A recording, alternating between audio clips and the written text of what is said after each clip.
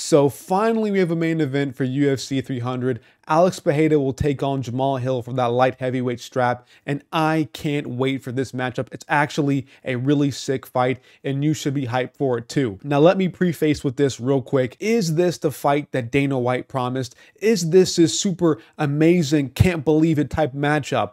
No, it's not. It's not what Dana White promised. It's not what we were expecting in terms of excitement value. And if I'm being totally honest with you, this fight is better well served on UFC 301 on the Brazil card, not at UFC 300. The UFC and Dana White, they messed this up. Dana White was on podcast after podcast hyping up this matchup, saying it's going to be the biggest thing ever that's going to blow our socks off. And guess what? My socks are still on. I'm still nice and cozy sitting here making this video. It just simply doesn't meet the expectations that Dana White and the UFC set upon us. We were expecting two new weight divisions. We were expecting some crazy comeback like Khabib coming back, maybe even somebody else, I don't know. We were expecting maybe a Islam jumping up to fight Edwards for that 170 belt. There were so many opportunities for the UFC and they were feeding us all of this information that was supposed to hype us up for this big main event, and we get Jamahal Hill versus Alex Pereira, which is a great fight. Do not get me wrong. This is a sick fight. I can't wait for it.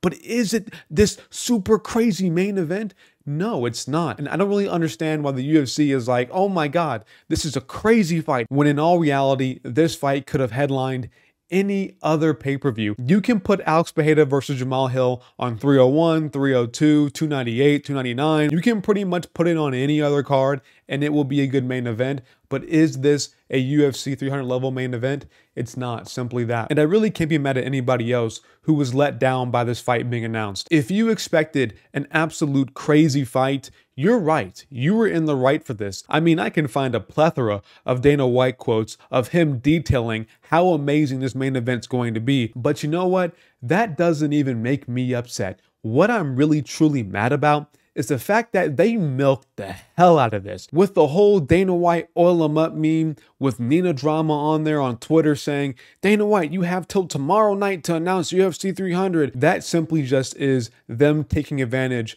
of our hype of our fandom, and it's stupid, man. I didn't want to wait till 1 a.m., 2 a.m. I know people in the UK are waiting up till 6 a.m.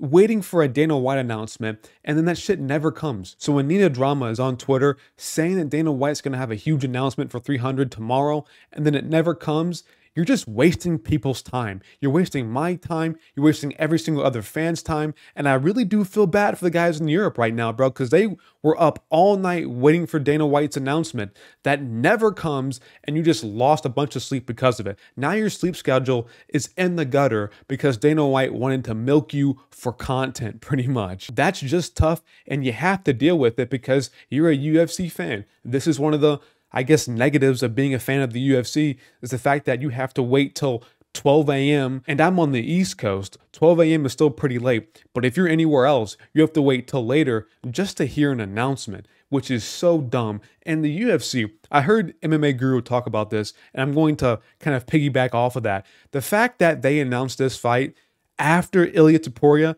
just flatline KO'd Volk just tells you how much they were trying to hide this shit. They really didn't want this to be huge breaking news. They announced it pretty much almost immediately after the fight, and I think in the post fight press conference, they wanted this to fly under the radar, that nobody would notice, and maybe in a couple days when all the Volk fans finally come out of their room from their depression state, they see this news and now they're hype again. They really just tried to sneak it in there like we wouldn't notice it. All that hype, all that waiting that we just did, just for you to sneak it in feels like a slap in the face. UFC 300 is supposed to be the UFC's biggest card of all time, and you just sneak in the main event because you know it's subpar and not what it's supposed to be. That's absolute blasphemy to me. We deserve a better main event, but you know what? I'm still happy with the card. I'm still going to enjoy this card. I think it's an amazing card. Could we have had a better main event? For sure. But you know what? I'm still very satisfied with UFC 300. I know I complained a long time ago or in some past videos of mine, but you know what? I went through the card again. I looked at every single fight on it, and I'm happy with it, man. I'm hyped for the card. Are there some fights on the card that I'd rather see not be on there, like Holly Holm versus Kayla Harrison? For sure, but you know what? You have to be inclusive. You have to have some women's fights on there because otherwise that would be not the best. I actually really don't mind Marina Rodriguez versus Jessica Andrade. That can be a sick women's fight. Am I going to love it? Am I going to be hyped for it? no, but if you are going to put a women's fight on there that isn't a title fight, that fight has the most potential to be a banger, at least, like to have some war back and forth moments. They're going to scrap it out. So, again, am I excited for it? No way, but it does have potential to be an underrated fight, I guess. So, there's some leeway there for the UFC and me. But I guess moving on, let's talk about the main event. Let's talk about Alex Pereira versus Jamahal Hill. And let me give my early prediction of who I think will win. And I'm really teeter tottering back and forth between who I think will win this. I think that Alex Pereira has a ton of holes in his game. And I think Jamahal Hill is that style that can put out Alex Pereira's lights. Let's be honest here. I feel like Alex Pereira's biggest issue right now is like a simple one-two down the pipe. He gets cracked with straight shots so easily. Now, I haven't done any research for this fight yet, so I'm going to have to go back and watch a few of Alex Pereira's fight before I give my official prediction. But I'm leaning Jamahal Hill right now. I think Jamahal Hill, he has a really nasty one two. He's really rangy, and I think he might catch Alex Pereira on the chin, whose chin has also been kind of sus in the past. I mean, Israel Adesanya flatline KOing you, not a great look. I think Jamahal Hill has more power than Adesanya, and I think his style is more suited to beat a guy like Pereira. But the issue with Jamahal Hill is the fact that He's coming back a bit early, isn't he? He tore his Achilles, I forget what month last year, but he tore his Achilles not too long ago, man. And before that, he was looking pretty, you know, big, if you know what I mean. Bro put on a few extra pounds